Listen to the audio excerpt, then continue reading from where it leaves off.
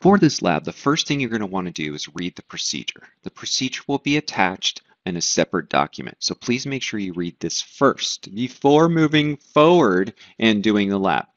The second thing I want you to do, remember there are two different chemicals that I'm using. I'm using calcium chloride and ammonium chloride. So ladies and gentlemen, please make sure you're recording the data for each. And also you need both quantitative and qualitative data.